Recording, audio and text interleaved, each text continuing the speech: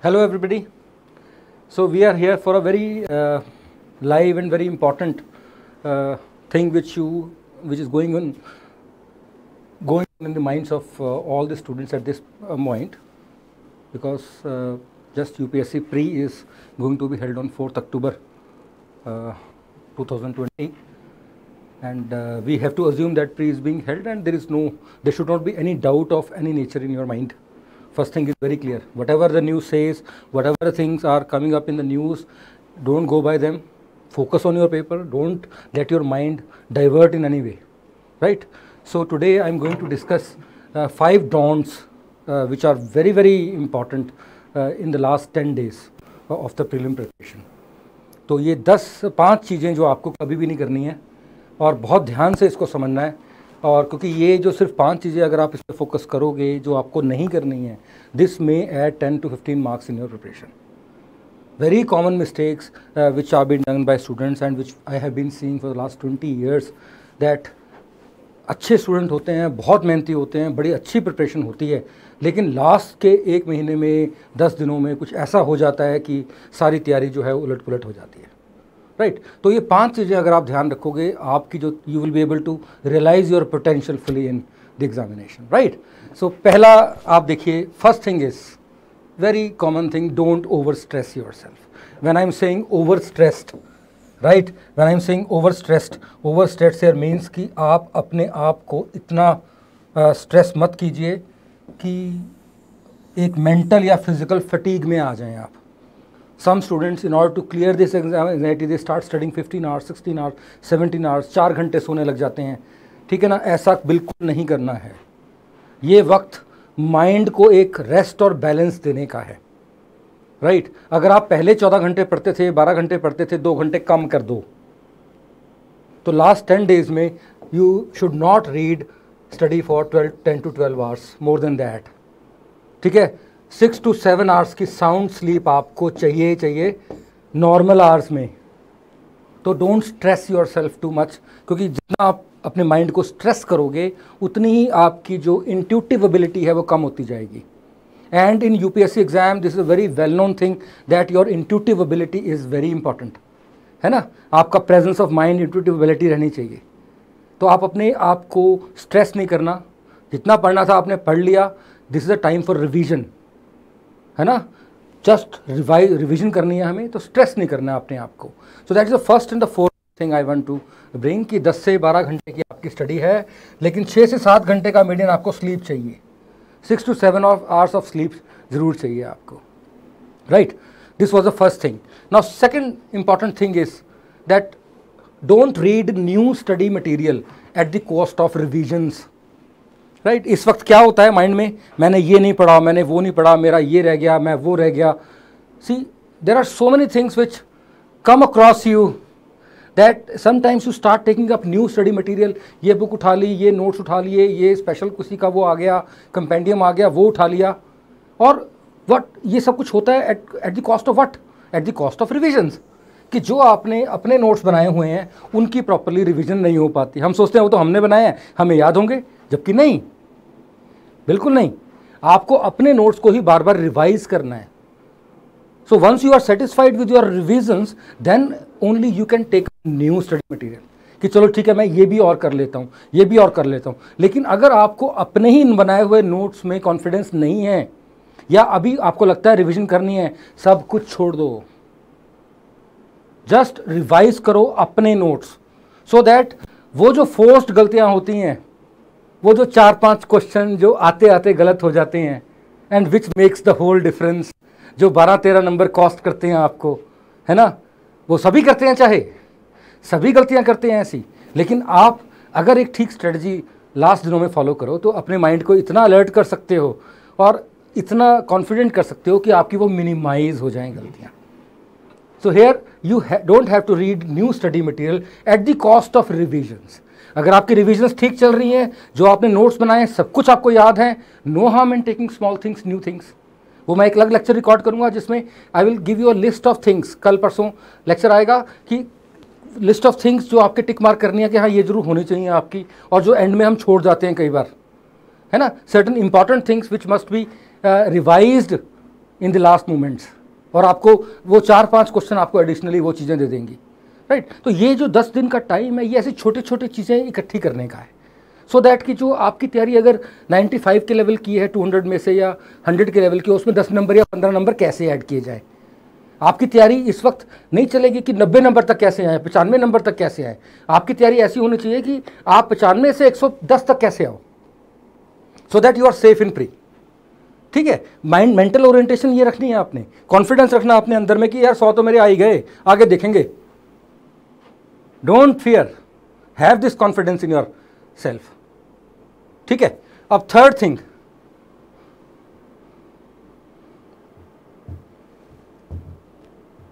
third thing is, okay, this is again a common mistake which is i see every year. Matlab, i see so many students devastating their whole preparation in the last days. Don't over stress on current affairs at the cost of static. भाई, आपका static की revisions बाकी हैं। Static आपने पूरी तरह revise नहीं किया है। आप स्टैटिक पूरा छोड़ के आप करंट अफेयर के पीछे लग गए। देखो स्टैटिक इज़ प्रोडिक्टेबल स्टैटिक के क्वेश्चन आते हैं आपको तो आप करके आओगे ठीक। करंट अफेयर इज़ अनप्रडिक्टेबल और करंट अफेयर ऐसा नहीं है कि तीन दिन में तैयार कर लिया, आपने चार दिन में तैयार कर लिया। Current affair is a long drawn process right so okay we have to do current affair at this moment but in a limited way but not at the cost of static जो आपकी revision static की चल रही है, उसको अपने दिन का टारगेट पूरा खत्म करना है, उसके बाद जो टाइम बचेगा, उसमें करंट अफेयर करना है। नॉट कि आप करंट अफेयर सारा दिन कर रहे हो, और जितना स्टैटिक रिविजन को टाइम देना चाहिए, उसका वन फोर्थ दे रहे हो। आपने सोचा कि पाँच घंटे मैंने रिवाइज करना है स्टैटिक आप एंड में आके पूरे दिन में एक घंटा दे रहे हो स्टैटिक रिविजन को। You are bound to have problems in the examination क्योंकि last minute static revision is very important to retain to to reproduce in the exam क्योंकि छोटे छोटे फैक्ट्स हैं, भूल जाते हैं कई बार। कितने आर्टिक बहुत सारी चीज़ें हैं छोटे छोटे फैक्ट्स हैं जो लास्ट मोमेंट रिविजन ही चाहिए होती है। है ना? बायोलॉजी के फैक्ट्स हैं फिजिक्स के हैं कॉन्स्टिट्यूशन के फैक्ट्स हैं इंडियन इकोनॉमी का डाटा है, वो आप बार बार रिवाइज करोगे थोड़ा सा तो आपको तभी वहाँ पे पेपर में परफॉर्म कर पाओगे। ऐसे दो चार क्वेश्चन ये मैटर करते हैं, और वही तो सक्सेस और फेलियर में डिफाइन करते हैं। तो don't over stress on current affairs at the cost of static जो आपने करंट अफेयर्स की स्ट्रेटजी बना रखी है, बहुत अच्छी है। है ना? कोई आपको अगर कहता है कि नहीं, ये करंट अफेयर पढ़ लो, सारे क्वेश्चन इसमें आ जाएँगे। वो आपको बेवकूफ़ बना रहा है।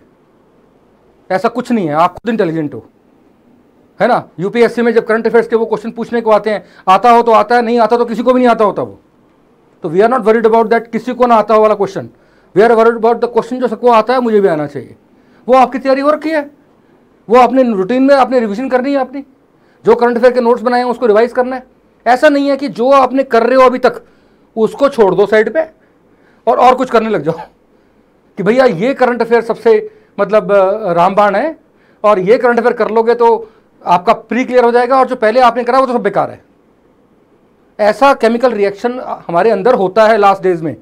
हमें ऐसा लगने लग जाता है कि जो मैंने करंट अफेयर कर रखा है वो तो कुछ है ही नहीं है, ये करंट अफेयर लोग कर रहे हैं, यही करूँ मैं। Please be aware of yourself pre clear करना देखो अपने आप से लड़ाई भी है। है ना? तो अपने आप से लड़, लड़ना है आपको। हेल्प लेनी है लोगों की। अगर आपको कोई इस बारे में डाउट है you can call us you can talk to us no problem हमने ऑनलाइन अपन नंबर दे रखा है। Right so don't over stress on current affairs at the cost of static secondly whatever current affairs the manner you have prepared continue with it don't take up new things at this moment कि फलाना website का एक compendium आ गया फलानी website की compendium आ गया हमने जो आपने पहले पढ़ी है उसी को पकड़ के रखना बस नया नहीं उठाना don't be create a situation of self doubt don't create a situation of self doubt in any way अब उसके आगे बहुत बड़ी एक आ, आ, आपको वट टू से अगेन एक बहुत है कि लास्ट दिनों में मैंने देखा है, कई स्टूडेंट को, उनको कहीं से प्रिस्क्रिप्शन मिल जाती है कि डेली एक मॉक करो डेली दो मॉक करो डेली तीन मॉक करो। वाई क्या लगता है आपको कि वो मॉक दे रहे हैं तो उससे पेपर में क्वेश्चन आ जाएँगे? लेकिन उसकी कॉस्ट देखो आप। अगर आपने दिन में दो मॉक दिए और आपके नंबर उसमें आ गए पचास पचास क्योंकि वो टेस्ट आर्बिट्रेरी था, आपका कॉन्फिडेंस तो खत्म। सोच के देखो कितना बड़ा डेंजरस काम हो सकता है ये। और कौन सा मॉक ऐसा है जो यूपीएससी के एग्ज़ाम जैसा होता है? अभी तो यूपीएससी खुद नहीं पता कि उसका एग्ज़ाम कैसा होता है। There is no convention there is no rule arbitrary paper आते हैं। लेकिन आप सोच के देखो, आपने दो आपकी तैयारी अच्छी है। यूपीएससी के हिसाब से सब कुछ ठीक है। But you have happen to give such a mock जिसके अंदर आपके नंबर बहुत कम आ गए। एंड यू आर नाउ आपको लगता है कि अब तो मेरा कुछ होगा नहीं।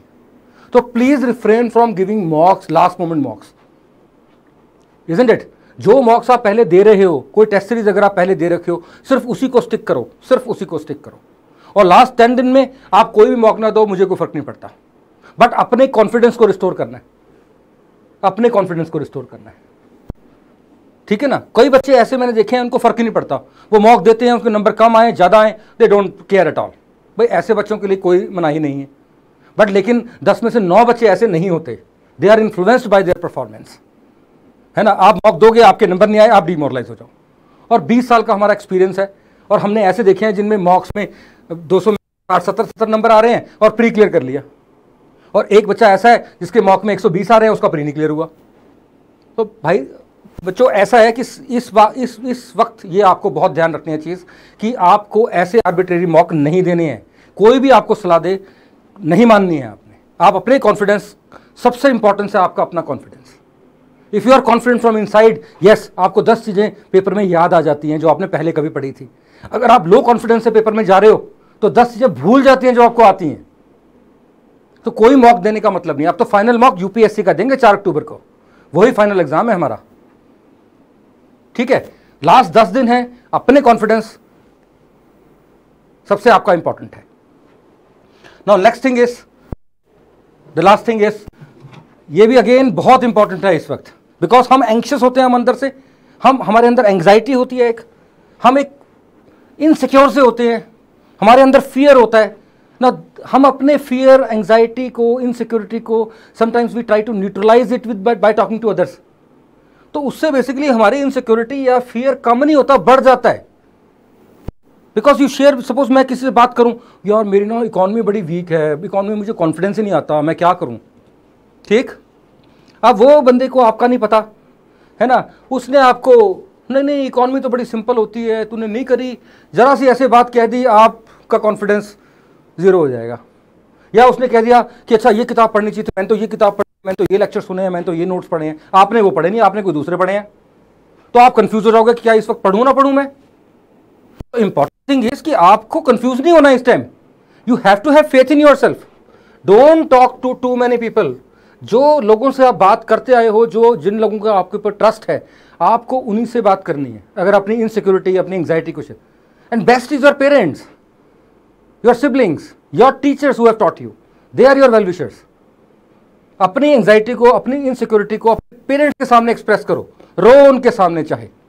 लेकिन वो क्योंकि आपको गलत सलाह नहीं देंगे वो।